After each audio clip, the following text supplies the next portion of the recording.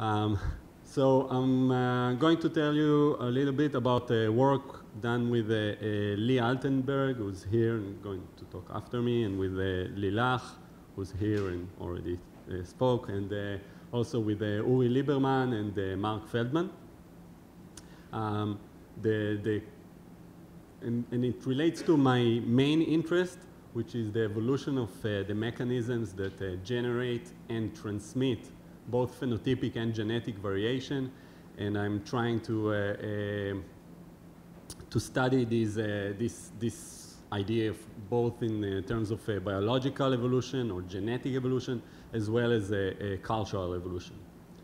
Um, so I'm, I'm, I'm going to start with Darwin.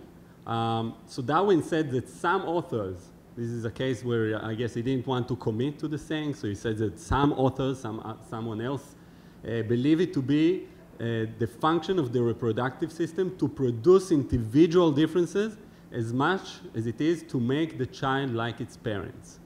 Right? So this is a, essentially is talking about some balance that the reproductive system has to, uh, to make between making the child like its parents, because if you're able to produce children, then uh, they should be like you so that they will be able to produce children as well. Uh, and on the other side, to produce individual differences because uh, uh circumstances change and there might be uh, better competitors, different ecological uh, situations, etc. Uh, and we can summarize this as a balance between fidelity in terms of transmission and uh, generation of variation, a balance between fidelity and uh, variation. And there are different examples for this. Um, a lot of my work was on the evolution of mutation. So uh, Sturtevant in 1937 talked about, on the one hand, he talked about a high frequency of new mutants that cause appreciable reduction in viability so you don't want mutations because most of them will do bad things. This was uh, uh from uh, his insights from uh, flies. And on the other, side, other hand, he talked about favorable mutations, which are the only raw material for evolution. Right? So this is a balance between the effects of deleterious mutations and the effects of beneficial mutations. And we can think about a similar balance uh, for migration, where uh, some individuals will uh, prefer to do homing, stay where they are, and some will go for migrating to a different uh, site. Uh, learning, some individuals will imitate their parents, some individuals will innovate and use new behaviors or new technologies or new ideas. Or, uh, or similarly for learning, um, um, something that's more been, been talked about in, I guess, machine learning is uh, and the reinforcement learning, exploitation on the one hand, use the knowledge that you already have, and on the other hand, exploration, try new uh, strategies. So, so now I'm going to, uh, to show you a very general model that we uh, uh, developed for uh, studying this balance and, and three more specific models that relate to mutation, uh, migration, and, uh, and learning. And this is work published uh, in TPB in 2018. So the, the general model, we assume that the, in the populations, the population, we have several different types, and we mark them A1, A2, uh, AN. And these can be different mutants, different uh, sites, like locations, different behaviors. Um, each type has a frequency in the population, so F1, F2, etc. And each type has a fitness, W1, W2, etc. And the, the fitness is basically the relative reproductive success of each type. Right, so we have uh, four types here just for a representation. Of course, we can have more. Now, apart from, uh, uh, from that, we, can, we also have transitions between types. So in the individual that was born to be type 1 can transition to be A2. And these transitions happen with probability here. We call it CK. That's the probability to leave your type. So CK is the probability to leave type K. Where do you end up? Well, where do you end up? The, the, it depends on MJK. So if you leave type K, the probability to end up at type J is MJK. So the probability to transition from K to J is the probability to leave K and then end up at J. Um, okay, and once we uh, set up uh, this, we can write uh, a matrix equ equation that describes the change in the frequency of the different types over consecutive generations. Uh, and this is the uh, equations, and uh, I don't want to bore you with the mathematical details, so I'll just glimpse over it. We have a, a population mean fitness here, the frequency of the different types in the next generation. I minus C, this is the probability of not transitioning, not changing. C is the probability of changing and then changing to what, right? M describes to what do you change. So you, to, stay at a, to stay at a specific type, you either don't change or you are born to another type and you change to this new type. And D describes the effect of selection through fitness. So this is the, uh, the equation that uh, we use. Um, and like I said, there are, there are a lot of mathematical details, so I'm sort of skipping over it. Um, so three con more concrete models, because this is very, very high level. Uh, three concrete models that we can uh, describe here. The first is a mutation model where each type, A1, A2, AN, describes a different allele. So we're thinking about a single locus and the different alleles at this uh, specific locus. And each allele has some fitness, right? Contributes to the fitness of the individual in some way. CK will then be a mutation rate of this allele. So we think about an allele that somehow may contribute to uh, the mutation rate of the individual, or at least the locus. And then you can think about, uh, well, what is the probability to mutate from one allele to the other and set that in M. Another kind of mutation model, we can think about AK as an individual that has K deleterious mutations. So the population, individuals accumulate deleterious mutations and the deleterious mutations are then acted against by selection, so purged from the population by selection. So AK is an individual with K deleterious mutations, and WK then will be the fitness with, that, uh, with those uh, deleterious mutations. And CK will be the mutation rate of an individual that has K deleterious mutations, that accumulated enough mutation. And then mutations can be either deleterious or beneficial. Here beneficial will mean compensatory, somehow fix something that the deleterious mutation has broken. So this is another example. Uh, and uh, a totally different example is a migration model. In, in, in this case, we're thinking about AK as individual in some deme or site K, so the population is spread around in different uh, uh locations, and each location has uh, individuals, and the, the location determines the individual fitness. And CK then will be the probability to leave your deme, to leave your site.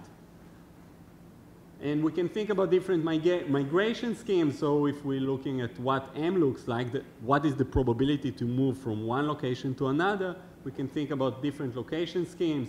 For example, here, individuals can only move to the next site. So you can think about some ocean current, for example. There is a strong current and you have to migrate with the current if you're migrating.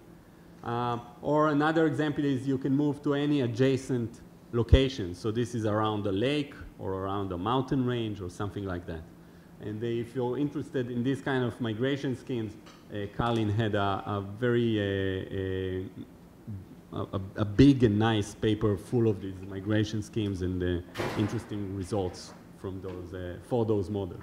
Um, lastly, a learning model. In this case, we think that AK is uh, some phenotype or behavior K where k is an integer, for example, the number of hours to invest in foraging or the number of hours to prepare for a talk. Um, WK is the fitness of, uh, of the phenotype that, uh, that uh, forages for k hours.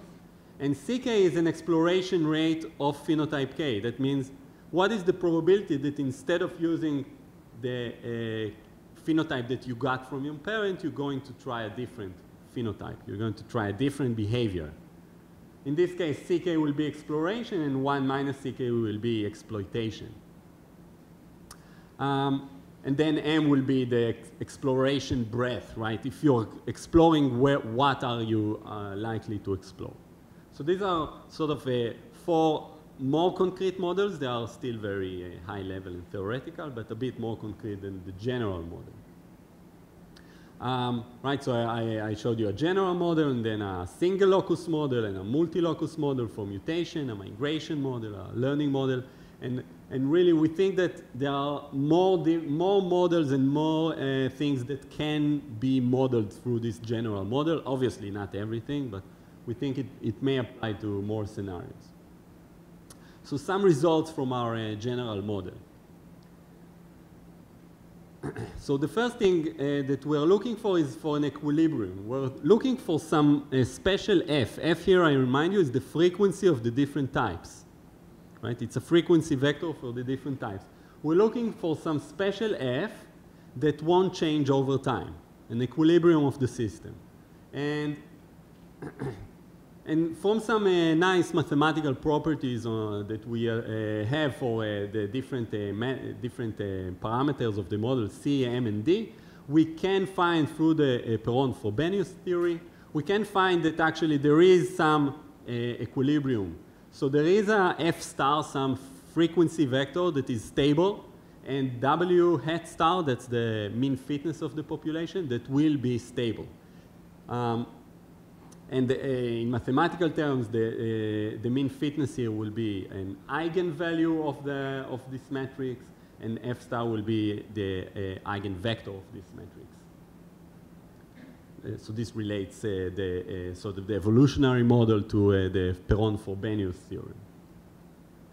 So the first result that we find here, we called it the modified mean fitness principle. and this is the basic result, that if you have an individual AK with fitness WK that is below the mean fitness of the population, then increasing transition out of this type will increase the population mean fitness. Right? So if below average individuals increase their transition rate, that will increase the population mean fitness. Um, in mathematical terms, what we see, what our result is that the sign of the difference between the mean fitness and the uh, fitness of the individual equals the sign of this derivative. So if you if this, uh, if this is positive, meaning that the fitness of the individual is lower than the mean fitness, then this is positive. So increasing transition out of the type will increase the population mean fitness.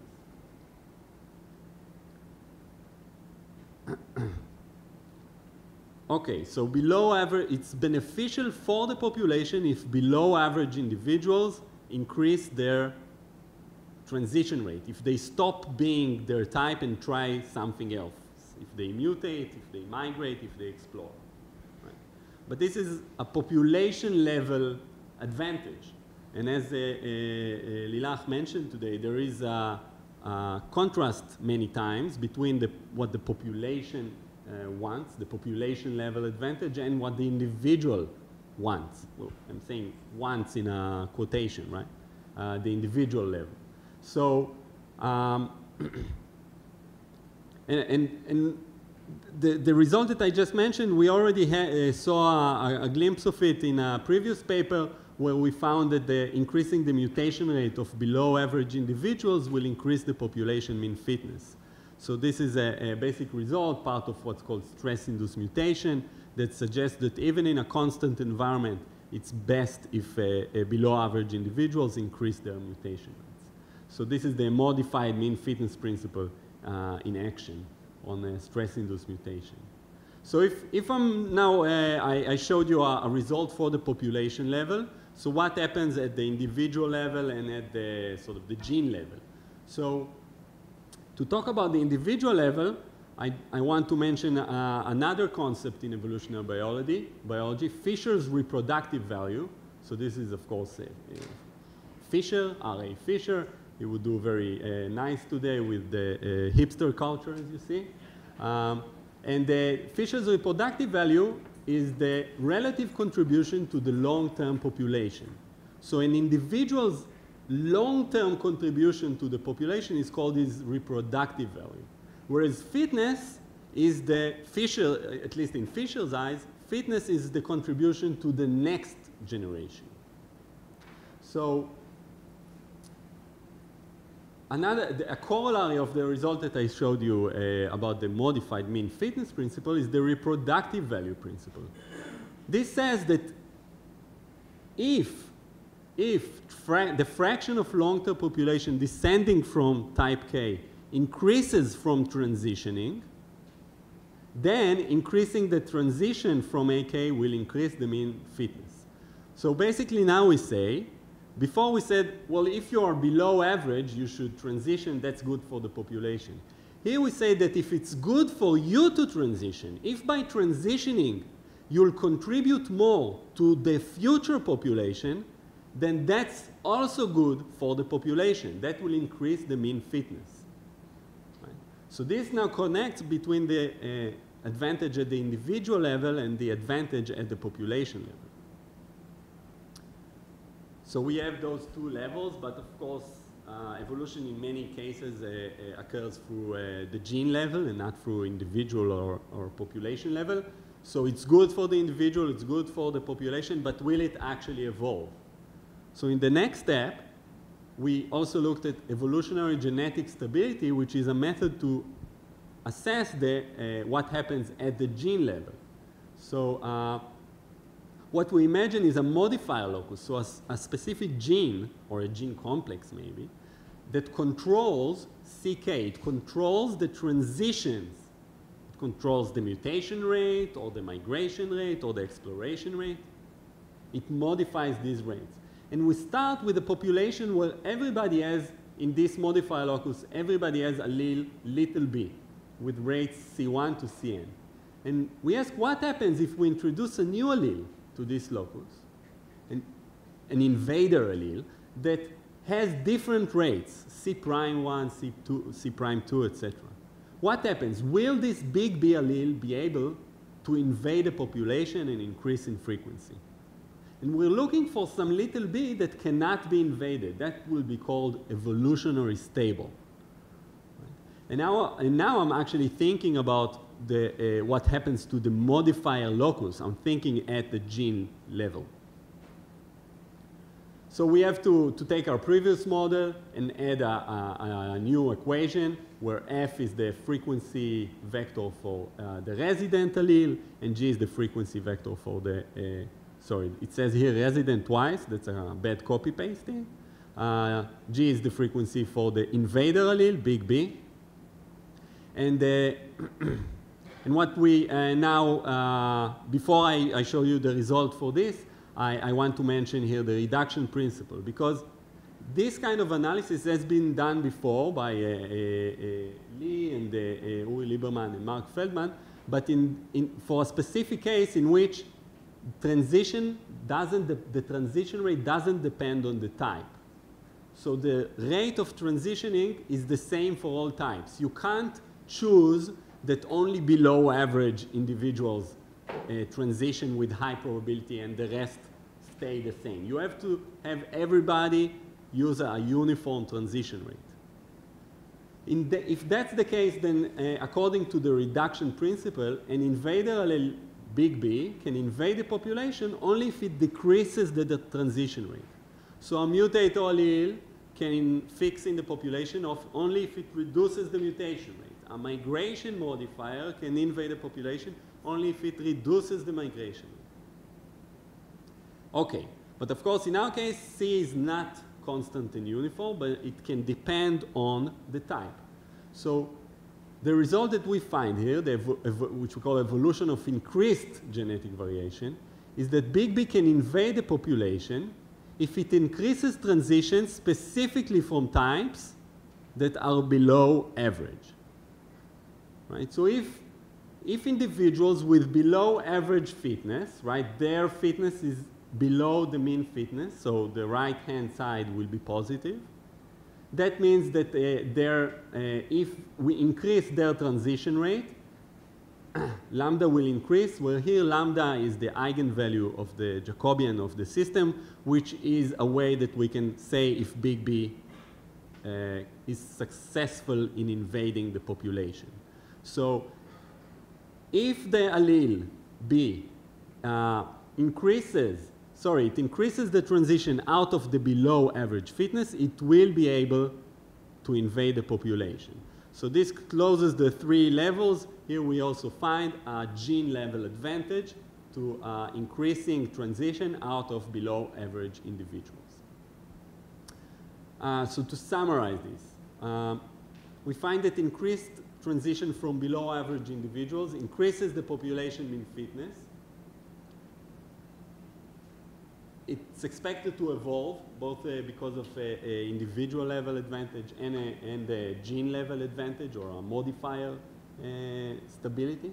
And something that we have to mention here that we assume that big M is irreducible. What does that mean? Because that's an important assumption here.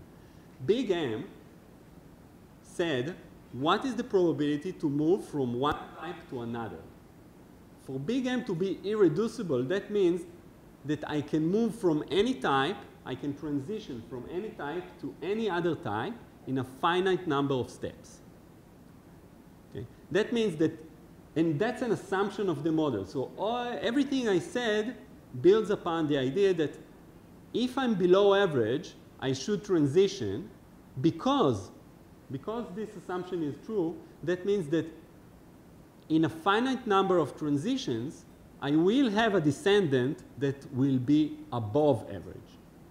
So the whole thing depends on sort of uh, uh, mobility right? If we're talking about mutation, then it's genetic mobility. If we're talking about migration, then it's uh, ecological mobility. And I, uh, I can imagine, but I haven't done any uh, proper uh, analysis of this, that this can work for social mobility as well, right? So if, if there's no, if there's no way to uh, go to a better type, then there's no reason to try and leave your type.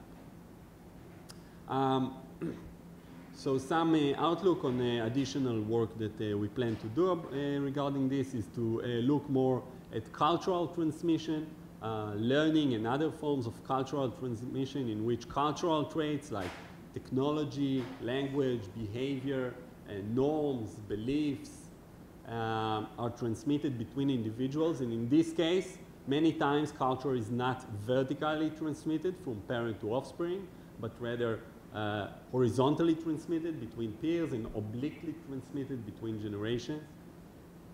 Um, another type of transmission uh, that we have already, already have a preliminary result about is frequency-dependent transmission. That's the case in which the probability for me to leave my type depends on the frequencies of all types. For example, you might think that if I'm, a, I'm part of a rare type, right? If I'm part of the minority, then I'm less likely to leave my type, right? Because maybe my parents are more strict with me be remaining the same as they are. Whereas if I'm part of the majority, then I'm less, I'm more likely to, you know, uh, go and explore new behaviors because I'm part of the majority. I, I feel very protected and safe. Um, another uh, another uh, route to continue this work is uh, to uh, analyze uh, models for combination in, in, sex, continuing on uh, Lilach's abandoned ship principle, and the mathematical analysis is, I guess, much more complex in that sense, but but uh, it might also lead to interesting results. And another direction is, uh, like I said, transmission of social traits like social rank and uh, social status and similar things. Um, so uh, with that, I uh, uh, conclude, and if you have any questions, I'll be happy to